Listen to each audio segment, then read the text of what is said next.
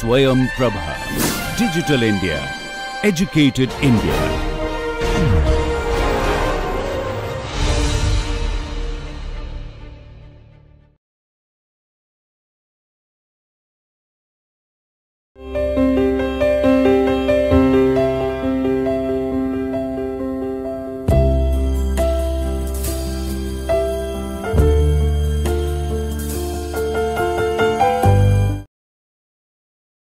And welcome to the fifth lecture on rotation.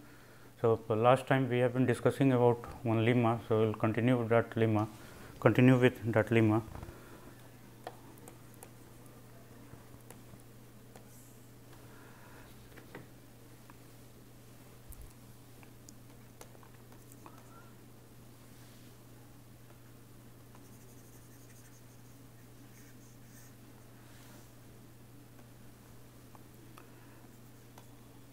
A 3 into 3 matrix. Is a rotation operator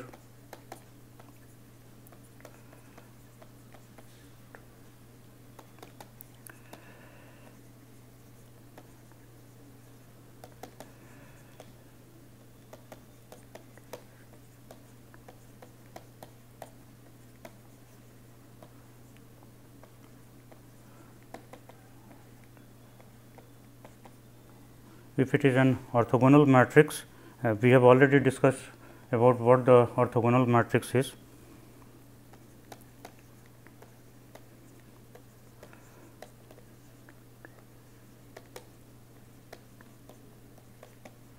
And has determinant plus 1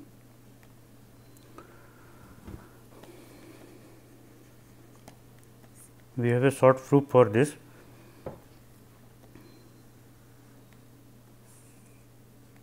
So, let us consider a frame in which we have two vect arbitrary vectors v 1 and v 2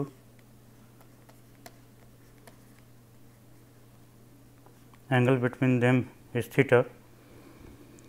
So, obviously, we can observe that if we rotate the reference frame say this is E 1 E 2. So, if we rotate the reference frame the angle between these two vectors will not change. So, this implies that V 1 dot V 2 is an invariant because theta is fixed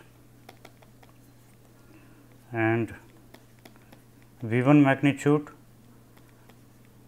V 2 magnitude this is also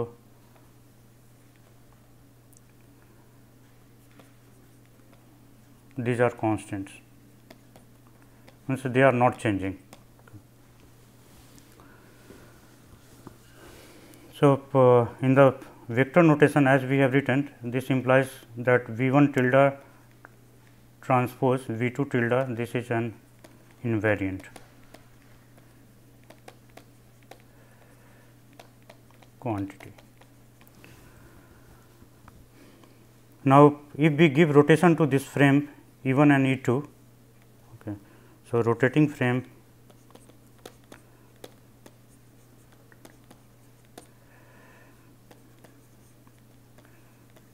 rotating the reference frame. Let us say the corresponding rotation matrix is let us assume that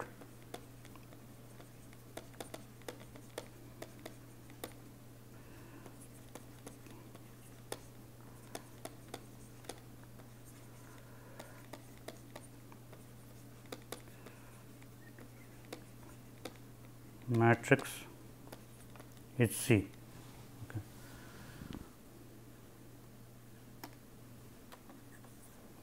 Okay. Therefore, in the new frame the vector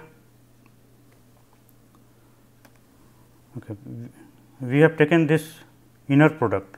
We could have also written this as V 2 tilde transpose V 1 tilde this is an invariant quantity. So, it is equivalent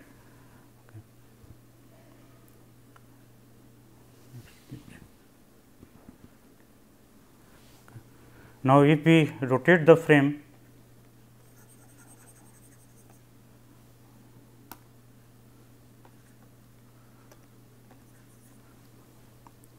So, by rotating the frame let us say that the v 1 vector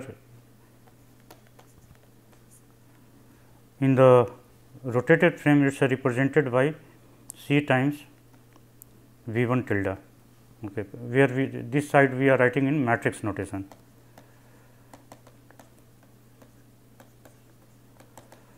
And similarly, the v 2 vector it will be denoted by in the new frame okay.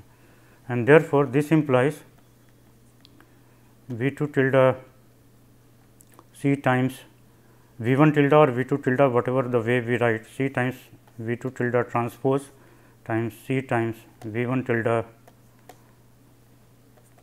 this must be equal to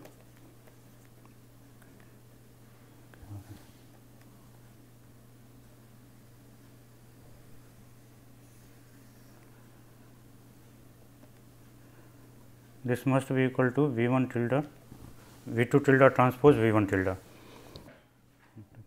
So, uh, this quantity will be equal to this quantity because the vector the angle between these two vectors it is not changing and the vector length itself it is not changing. Okay, and uh, only the frame is rotated. Therefore, this must be equal to this quantity. And we can write this as v 2 tilde transpose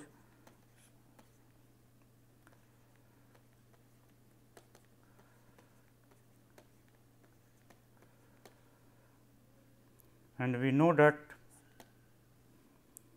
C transpose C will be equal to I if it is a rotation matrix. Okay. So, this we are this is what we are looking for. So, we can rearrange this thing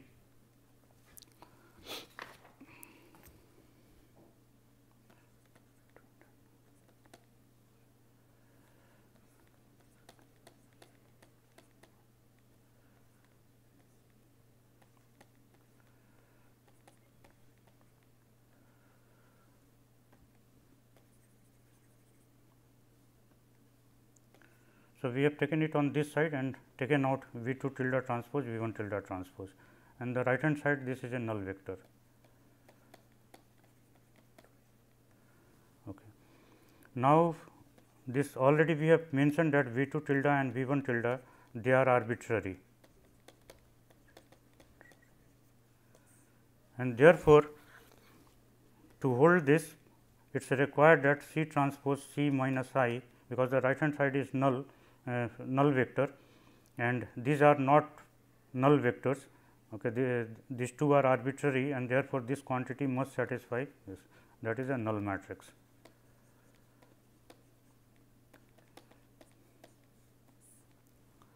Okay and this implies c transpose c equal to i and this in turn implies c c transpose equal to i as we have proved earlier also. Okay and therefore, this implies that as it was required that C transpose C should be I uh, in this lemma. So, therefore, C this is a rotation matrix matrix provided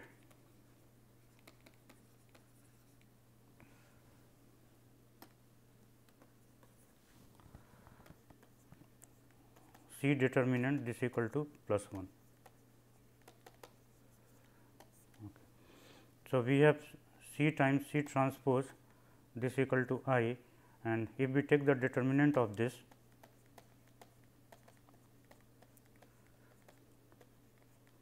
okay, and determinant of the transport transpose is the same as the determinant of the original matrix therefore, this quantity equal to 1 and C equal to plus minus 1. So, given this we have started with uh, assuming that if C C transpose equal to C transpose C equal to I proved in this lemma and then once we have got this then we are getting this quantity. Now, out of this the plus 1 C determinant this equal to plus 1 this corresponds to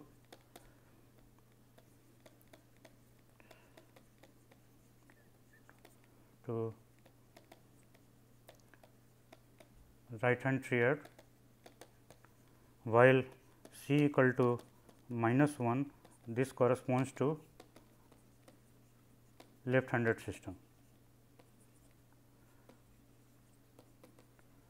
Therefore, we reject C equal to minus 1 and we retain only C equal to plus 1 and therefore, whatever the we have stated in the lemma. So, this is proved that this uh, C C transpose equal to um, or C transpose C equal to i and C determinant is also equal to plus 1 and why this minus 1 has been rejected we will see on the next page. Let us consider a example consider an example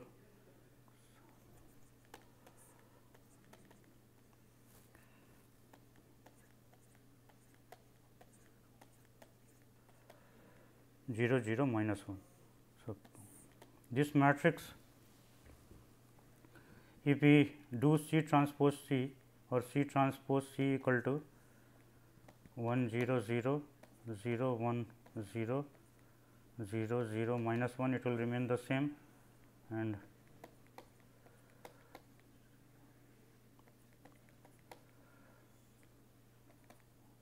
once we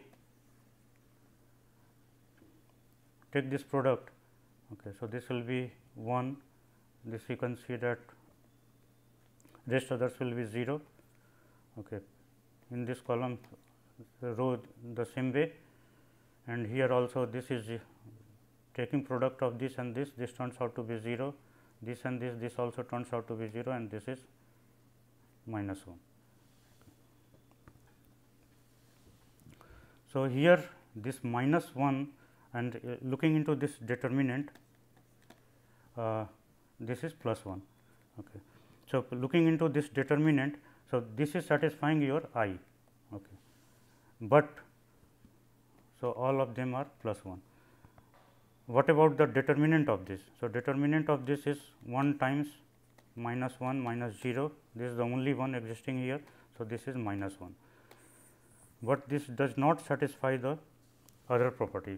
That is C transpose C equal to C C transpose this equal to I okay, which is very much clear. As we take the last one which is uh, essentially we have to look into 0 times 0 is 0, 0 times 0 is 0, minus 1 times minus 1 is plus 1. So, therefore, C C transpose is I the identity matrix, but the determinant is not plus 1, but rather it is a minus 1 and this matrix this belongs to the left hand triad left hand system left handed system. As we can observe from the operation on C by any vector say let us assume that this is operating on some vector nu where we will assume this to be 0 1 0 0 0 minus 1 and here we assume this new vector to be 1 1 1 means it is belonging to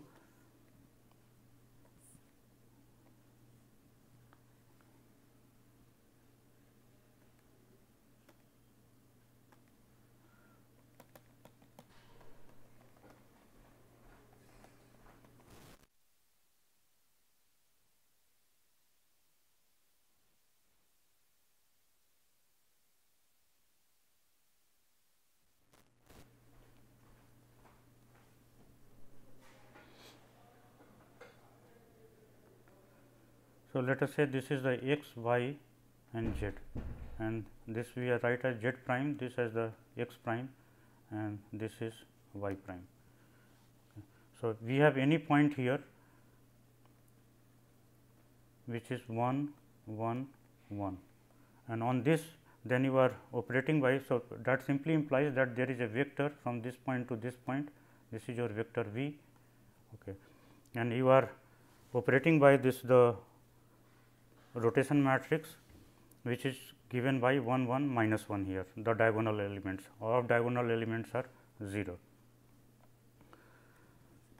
So, this implies nu prime will become this is 1 this is 1 and this gets reduced to minus 1. Okay. So, this point gets mapped to the point in the which is reflected in the x y plane and this is the point here 1 1 minus 1.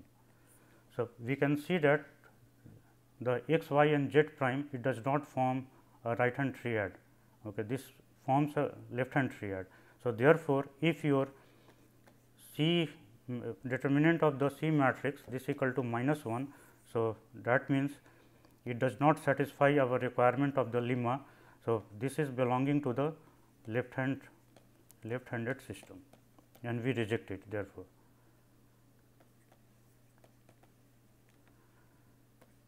and reject it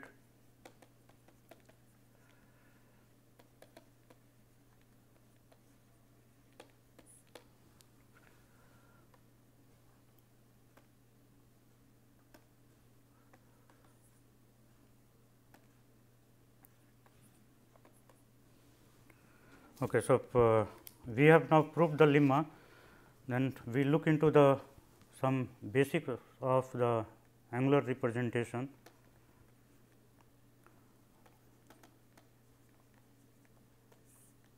Euler angles.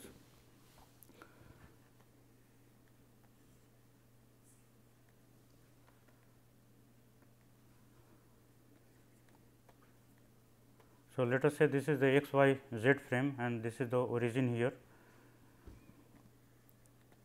and this is the right handed triad. So, rotation about this x axis will represent it by theta 1, rotation about this axis will represent by theta 2, rotation about the z axis represented by theta 3. So, it is a common that uh, theta 3 is quite often represented by psi okay. theta 2 it is represented by theta and theta 1 is represented by phi. So, these are called the Euler angles, okay. but here we stick to this general representation theta 1, theta 2 and theta 3 because it is a uh, quite often we use these notations psi phi for some other angles then uh, there will be confusion. So, we will always keep theta 1 theta 2 and theta 3 as the angular displacement. So, you can see that we have 3 degree of uh, freedom in this system in the rotational freedom and that we can represent by theta 1 theta 2 and theta 3. Now, how do we represent uh, rotate it is a matter of concern like uh, say uh, I have this mobile okay, or say uh, this is a box okay. okay this is a box and upside here it is a written uh, some word okay. So, I keep it like this. So, let us say the x axis is along this direction y axis along this direction, z axis along this direction. So, this forms a right handed triad as we can see by the right hand rule. Now, I want to push it into a configuration which is represented like this. So, how we can do it? I have to bring it into this way. Okay. So, here I can rotate it like this. So, this rotation is about the z axis. Okay. So, first rotation we are giving the z axis and this axis we have taken as the x axis. So, next rotation we will depending on uh, what we are looking for. So, from here we want to go into this direction. So, first like about the z and the second rotation about like this about the x axis. So, that gives me this orientation. Now, is it possible to get into the same orientation using some other way? So, let us look into this one first rotation about the x axis okay. and this is your y axis now this is the y axis. So, next rotation about the y axis. So, we get to the same orientation by these two different rotations. So, here what do I want to tell you that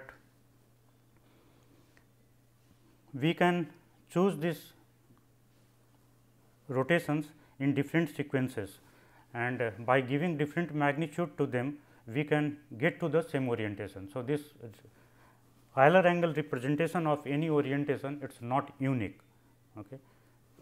This is a very very basic concept which we must understand that this Euler angle representation it is not unique. We can get to the same orientation by giving different amount of values to psi, theta and phi. It may be positive, it may be negative.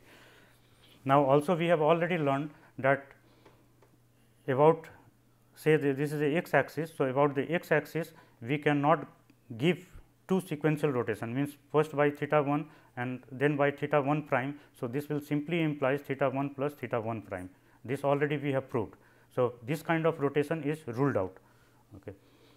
So, the first rotation out of these three I can choose in three ways. Okay. So, this is your first rotation. The next rotation I cannot choose again say the about the theta 3. Okay. If I choose this means it is like the same thing it is the same rotation of higher magnitude. Okay. So, that is ruled out. So, next I have to choose from these two. Okay. So, from these two I can choose in two ways. So, this is your second rotation.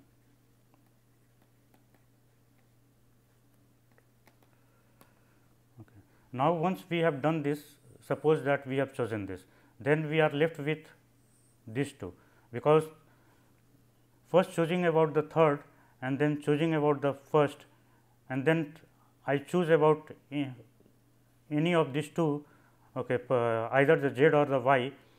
So, it is not the rotation about the same axis means this is about the x axis. So, this will be along the y and the z axis and therefore, the next rotation is along the two means we are not taking any rotation sequentially about the same axis means there are total 12 ways of choosing uh, this orientation representation.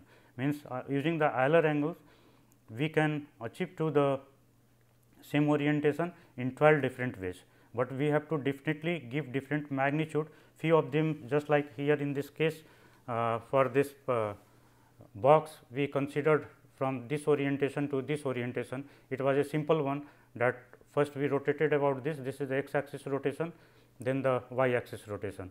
Okay z axis rotation is 0 the other way we did here z axis rotation and then the x axis rotation, y axis rotation here in this case is 0.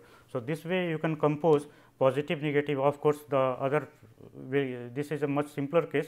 Other cases will be very uh, difficult to look into uh, look into physically. So, uh, this is your third rotation, but this remains a theoretical fact that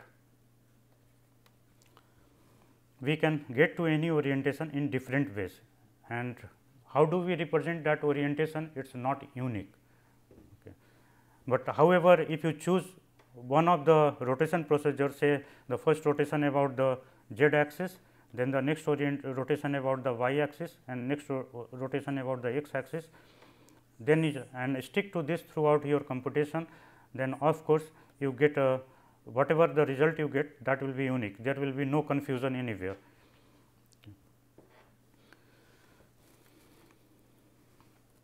So, uh, we are ruling here ruling out the configuration like 3 1 1. So, this is ruled out similarly 3 2 2 this kind of rotation this will be ruled out or 1 3 3 these are ruled out because these two are about the same axis and therefore, this, uh, these two are not allowed.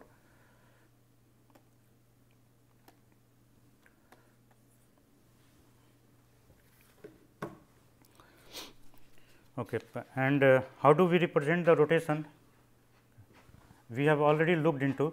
So, uh, say the rotation if I represent it like this that first rotation I give about the third axis which here in this case 3 will represent the z axis, 2 will represent the y axis and 1 will represent the x axis. So, we will write it like this. So, we are giving sequential rotations like this means first rotation about the third axis, second rotation about the second axis and third about the first axis. So, uh, let us say that I have any vector nu okay, and I am operating on this vector by r 3 means rotation about the third axis and this gives me nu tilde prime. Okay. Now, I will operate on this vector. Okay. So, what we have done that I have a reference frame, this is a vector here v and this is 1, 2 and these are the 3 axes and I am rotating this axis. So, first rotation I am giving about the third one okay, and as a result in the new coordinate system for the new reference system we have nu is represented as nu prime. Then the next rotation I give about the y axis which here represented by 2. So, this will operate on nu prime and from here we will get as nu double prime. So, nu prime is nothing but from this place r 3 times nu tilde. Okay. So, this is nu tilde double prime. Similarly, we give the rotation about the first axis. So, we will operate on nu tilde double prime and this gives me nu tilde triple prime. So, and then putting nu tilde double prime from this place. So, this becomes R 1, R 2, R 3. So, once you have given these three rotations general rotations, okay. after that this uh, your original vector it appears like this its components in the rotated reference frame it will change. So, here theta 1, theta 2 and theta 3. And we are well aware that the r 1 which is the rotation about the first axis it will be given by 1 0 0 0 0 already we have discussed this cos theta 1 sin theta 1 minus sin theta 1 times cos theta 1. Okay. Similarly, the R 2 and R 3 this has to be written and once we insert into this we get the transformed vector okay, or the coordinates of the vector nu in the rotated reference frame.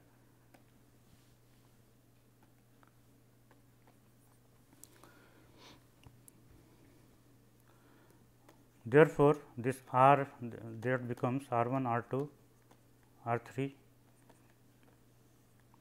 1 0 0 and we will use a shorter notation for representing this the cos theta we will write as c theta and we will tag as theta 1 theta 2 whatever it is and sin theta as s theta. So, this is the shorter notation. So, this becomes c theta for this one this is c theta 1 s theta 1 0 minus s theta 1 c theta 1. So, remember that we are operating from this side this is first operating on the new vector then this will operate then this will operate. Okay. Thereafter, for the y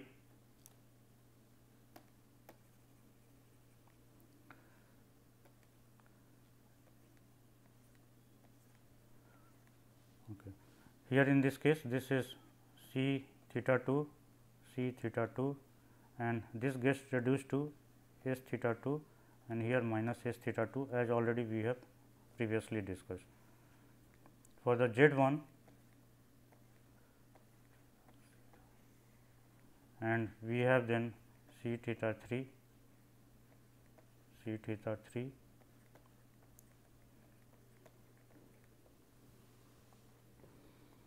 and do the matrix multiplication once we carry out this. So, I will write here the final result without uh, taking much time.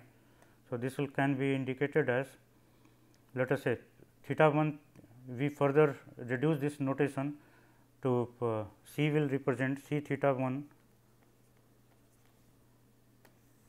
we will use this representation c theta 1 as c 1 s theta 1 as s 1 Similarly, other c theta 2 equal to c 2 and s theta 2 equal to s 2 So, uh, writing becomes here simplified.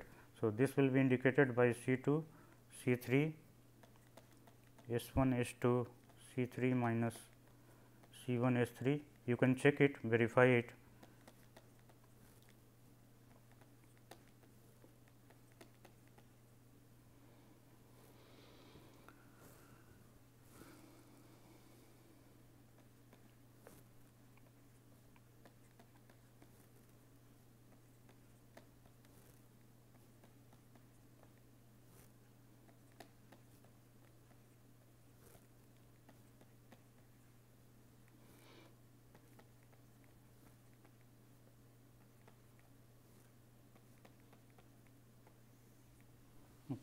So, taking doing this matrix multiplication it yields us this R this is the rotation matrix. Okay. Now, if you take a different sequence sequ sequence let us say R 2 R 1 R 3. Okay. So, this sequence will give you another matrix which will be different from this. Okay. But as per our discussion that whatever be the way of rotation Okay. If we give proper magnitude to these values, okay, somewhere uh, one may be uh, theta 1 may be positive in one case, another case it may be negative and so on. So, by giving that we can come to the same orientation, because these orientations orientation representation using these Euler angles they are not unique and therefore, it can be represented in many ways out of this this is one of the way this can be another way of doing this. Another way we can write it like as R 3, R 1, R 3 and so on. Okay. So, no sequential rotation about the same axis here third axis, first axis and then the third axis. But here this one creates problem when the rotation involved are very small. Okay. So, this kind of cases quite often if the angles angles involved are large. So, you can use this otherwise you should stick to this particular one. Okay. In the satellite control quite often uh, if you have to orient the satellite okay, from initial position to a final position. So, uh, you can do only using these two rotations that is about the third axis and the one axis first axis means if you have two controllers along the these two axes then you may be able to work it out, but you have to look further because it is a complicated if you rotate about the third axis it may happen that the satellite is rotating about the second axis also because of the inertial coupling. So, those things are very complex and uh, must be resolved, but however, this is preferable only if the angles involved are large while here in this case even if the angles are small you can work with this.